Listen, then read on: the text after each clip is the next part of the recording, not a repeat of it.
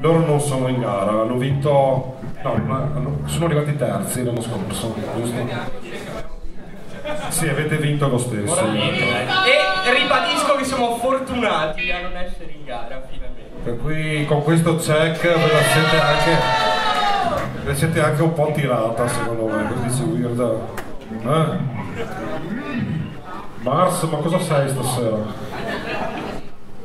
Una scimmia. Ragazzi facciamo un bel applauso. Ehi!